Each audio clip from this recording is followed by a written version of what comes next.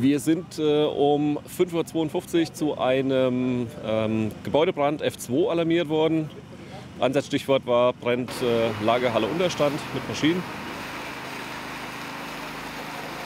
Als wir eingetroffen sind, hat das Gebäude schon im Vollbrand gestanden, also ein Teil des Gebäudes, die Lagerhalle, das, der Werkstattbereich noch nicht.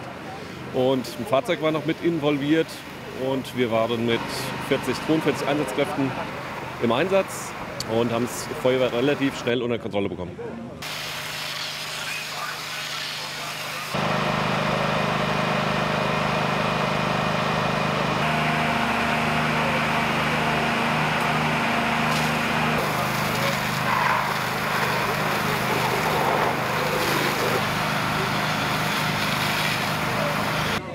Ja, im ersten Moment war die Wasserversorgung etwas schwierig, aber wir konnten dann durch äh, die Nähe zum offenen Gewässer relativ schnell eine gesicherte Wasserversorgung herstellen.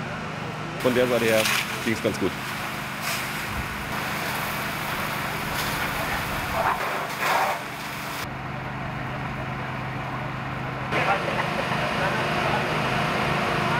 Das ist erkannt worden, allerdings nicht ganz so schnell, weil wie gesagt, der rechte Gebäudeteil war schon komplett im Vollbrand, als wir hier angekommen sind.